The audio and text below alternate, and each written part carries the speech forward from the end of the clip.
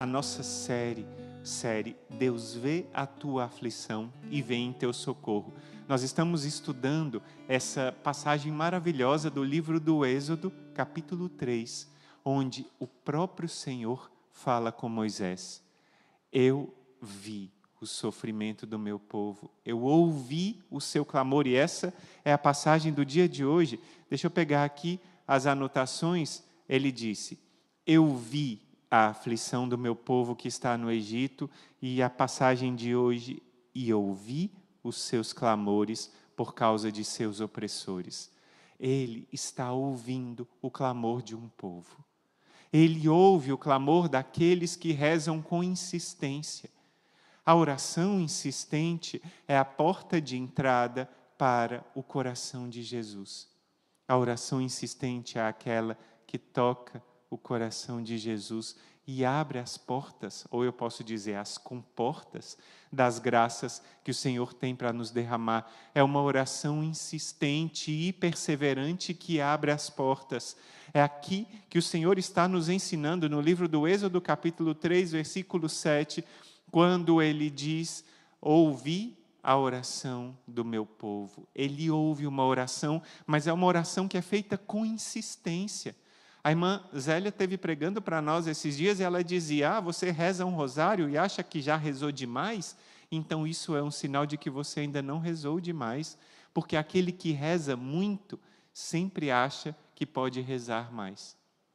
Aquele que reza com insistência acha que pode encontrar mais uma brecha para rezar mais um pouco, porque a oração nunca é demais. A gente lembra do preceito de nosso Senhor, está lá no Evangelho de São Lucas: orai sem cessar. Então a gente está rezando a nossa novena da Pompeia, estamos nessa nossa live, a gente reza um terço aqui e depois a gente reza o texto da novena da Pompeia, quando é 10 para uma. Mas, além dessa oração, o nosso compromisso com Nossa Senhora para completar essa novena é rezarmos os outros dois mistérios do texto para completarmos os três mistérios. O luminoso, claro, se você puder rezar, é ótimo. É um presente de Deus para completar os quatro mistérios, mas para a novena da Pompeia bastam os três terços, quando o Beato Bartolo Longo escreveu naquela época ainda não havia uns mistérios luminosos, foi só São João Paulo II quem colocou os mistérios luminosos. Então a gente precisa rezar os outros dois mistérios. Mas a gente não pode parar aí.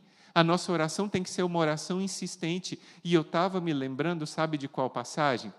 Daquela viúva que pedia para ser feito justiça, está lá na Sagrada Escritura, diante de um juiz iníquo. Lembra aquele juiz que não temia nada nem a ninguém, ele não tinha respeito por coisa nenhuma.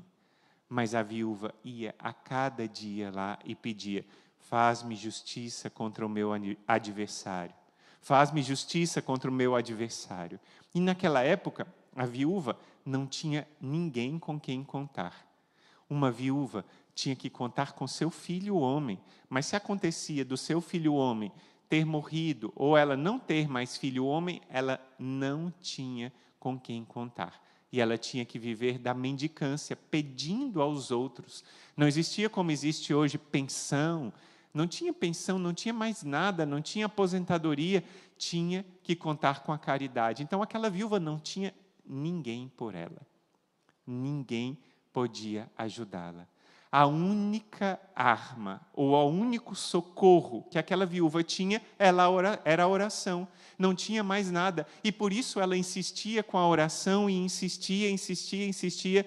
E a sua oração insistente era muito bela. Ela insistia, e a vitória que mudou o coração daquele juiz não foi outra coisa senão uma oração insistente. Um pedido insistente e o Senhor fala: se aquela, se aquela viúva conseguiu dobrar o coração daquele juiz iníquo, quanto mais o nosso Pai do céu não vai se deixar comover pelas nossas orações. Nós estamos rezando essa novena de Pompeia insistentemente, pedindo a graça que nós queremos. Eu estou pedindo uma graça para mim, uma graça que tem me preocupado e eu tenho colocado nas mãos de Nossa Senhora com muita esperança, porque eu sei que ela vai me atender. Eu sei que ela vai nos proteger e nos ouvir. Nossa Senhora do Rosário de Pompeia não desampara aqueles que clamam insistentemente pelo socorro dela, e eu tenho certeza que Nossa Senhora vai cuidar de mim e cuidar de cada um de nós. É o primeiro, se a gente lembra, essa oração insistente é a primeira missão da nossa igreja, é a primeira missão de cada um de nós, dos sacerdotes, dos religiosos, mas também é a missão de você, meu irmão leigo, leiga. A nossa primeira missão é rezar. Deus nos fez para rezar e a oração é tudo na nossa vida. Ai de nós se nós não rezarmos, a gente vai viver ao sabor dos ventos das ondas deste mundo, mas quem reza não se desespera. Quem reza confia em Deus e sabe que Deus está no nosso auxílio, Deus está cuidando de nós. Foram três as razões, anota isso. Nossa irmã Maria Helena está lá anotando as razões. Você também anota, a irmã Maria Jacinta está querendo também aqui anotar. São três razões pelas quais a oração da mulher foi ouvida e as nossas orações são sempre ouvidas. Em primeiro lugar, a bondade e a misericórdia de Deus, que são diferentes daquele juiz. Aquele juiz era malvado, mas o nosso Deus, a quem nós rezamos, é bom. Diz Santa Teresinha, o bom Deus é bom. Primeira razão, então, pela qual as nossas orações vão ser ouvidas, porque Deus é bom e misericordioso. Anotou? Essa é a primeira razão que nos enche de esperança. Deus é bom e misericordioso e ouve a nossa oração. Em segundo lugar, o amor de Deus por cada um de seus filhos. Eu e você não somos pessoas quaisquer aí, ah, alguém que apareceu aí, que está batendo na porta. Não. Eu e você somos filhos, filho e filha de Deus. Deus olha para nós e vê o seu filho Jesus em nós, que fomos marcados pelo batismo, e a marca do batismo jamais se apaga. Uma vez batizado, batizado para sempre. O batizado é filho de Deus para sempre. E nós somos filhos. E um filho pede as coisas a seu pai, e o pai não vai atender? É claro que vai. Por isso a nossa oração é feita a um Deus que é bom e misericordioso, e é uma oração feita há um Pai que nos ama. E Ele ama a mim e a você como filhos. Nós não somos bastardos. Nós não somos aqueles que estão lá espalhados por aí. Não, eu e você somos filhos e filhos de verdade. O Pai olha para mim, para você e chama filho, filha. Essa palavra tem autoridade, porque é o próprio Deus que fala conosco, mas não é só isso. Tem uma terceira causa ele vê o interesse que nós temos naquilo quando a gente persevera na oração. Ele vê que a gente está insistindo. Todos os dias a gente bate a porta da casa de Deus, do coração de Deus e diz: Senhor, Senhor, faz-me justiça. Senhor, eu preciso desse milagre, dessa graça. Senhor, me ajuda nesse problema, me ajuda nessa solução, porque eu não sei mais o que fazer humanamente, mas eu conto contigo, Jesus. Eu conto contigo, eu conto com teu socorro, eu conto com teu auxílio. Me ajuda, Jesus, a resolver isso, porque eu não consigo sozinho. Quando a gente insiste na oração, anotou os três pontos? Primeiro, Deus é bom e misericordioso. Segundo, Deus, Ele, além de bom e misericórdia, ele é no, misericordioso, Ele é nosso Pai, e eu e você somos filhos. E em terceiro lugar, a gente está insistindo na oração insistindo, insistindo, insistindo, e o Senhor vai sim nos atender por meio dessa oração insistente, nós temos certeza disso. E a gente lembra de duas coisas. Primeiro, o Santo Cura Dares tem uma história. O São João Maria Vianney, eu tenho aqui junto comigo na cruz que eu ando, uma relíquia de São João Maria Vianney, que me acompanha noite e dia sem cessar. Peço a bênção, a proteção dele. E ele falou uma vez para um homem que era dono de uma creche, que estava pensando em colocar as dificuldades que a creche estava enfrentando nos jornais para alcançar alguma graça. E aí São João Maria Vianney disse para ele: Por que, que você, ao invés de colocar nos jornais, não vai diante do sacrário e coloca insistentemente perante Jesus? Aí ele fez isso e é claro que a graça chegou. E aí São Bernardo tem uma frase que eu quero ler aqui para você.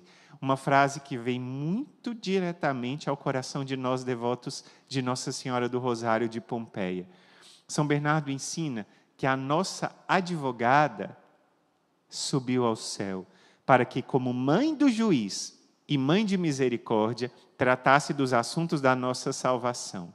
Entendeu que aquela que está lá no céu, coloca na câmera aberta, irmão, um pouquinho, para a gente acompanhar Nossa Senhora que é ao nosso lado. Nossa Senhora do Rosário de Pompeia é mãe.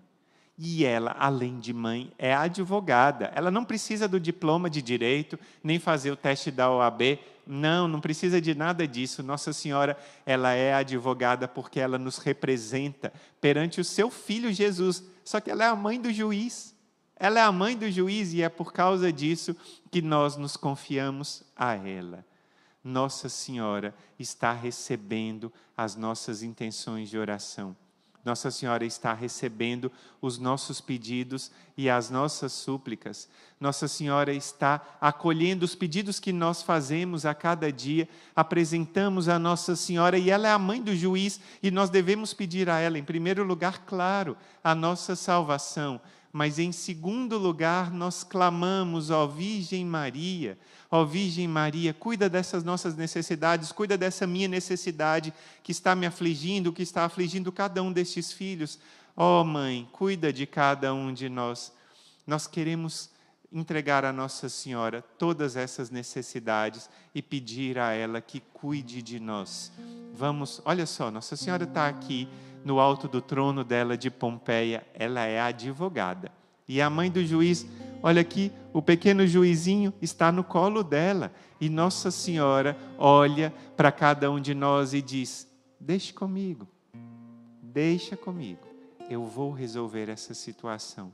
Nós temos que lembrar que Deus é bom, nós temos que lembrar que nós somos filhos de Deus.